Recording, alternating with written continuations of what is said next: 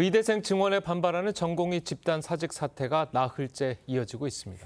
현장을 떠난 의사들은 집회를 잇따라 열고 있는데 일부 참여자가 부적절한 발언을 해 논란이 일고 있습니다. 고희동 기자의 보도입니다. 의대 증원에 반대하는 의사들이 용산 대통령실 앞에 모였습니다.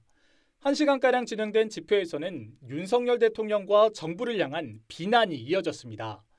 국민을 볼모로 삼는 건 의사가 아니라 정부라고 주장했습니다. 환자가 죽으면 대한민국 정부 때문입니다. 여론조사 결과 의대 증원 찬성이 높다는 정부 주장에 대해서도 대통령 하야 여론이 50%를 넘으면 대통령도 물러날 거냐며 날을 세웠습니다. 국민 여론조사에서 국회의원을 100명을 하자면 하실 겁니까? 박민수 보건복지부 2차관을 향해서는 비난을 쏟아냈고 의사가 의세라면 박민수는 박민세다! 의대 증원 결정에 앞서 의료계와 협의를 거쳤다는 정부 주장에 대해 데이트 몇 번 했다고 성폭력을 해도 되냐는 과격한 표현도 쏟아냈습니다.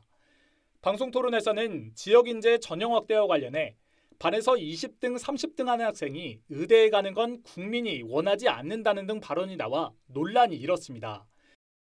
의사들의 반발로 의료 공백이 커지면서 정부는 보건의료 위기 단계를 최고 단계인 심각으로 격상하고 오늘 중대본회의에서 범정부 대응 방안을 논의할 예정입니다.